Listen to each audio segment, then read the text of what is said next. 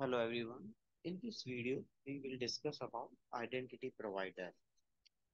Identity providers which confirms the user identity.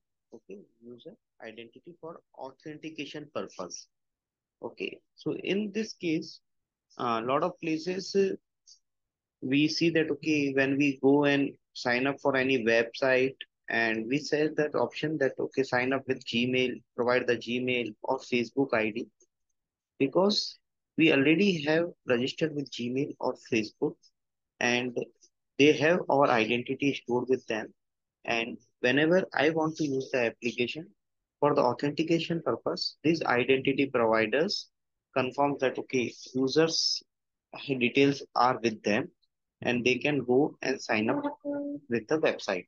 So rather than managing the whole process of user identity, they are offloading this thing to the identity provider. Now, there is another example where you will see AWS Cloud. There is a solution which is Okta, that is identity provider. It's a cloud-based identity provider.